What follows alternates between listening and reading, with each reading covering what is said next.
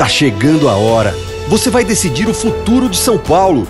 Escolher que caminho vamos seguir pelos próximos quatro anos. São Paulo quer verdade, experiência e competência. A hora é agora. A mudança está nas suas mãos. Peço o seu voto para enfrentar os desafios da saúde e da educação. Fazer novas obras, criar mais empregos e dar mais segurança a você e a sua família. Vamos juntos, mudar São Paulo.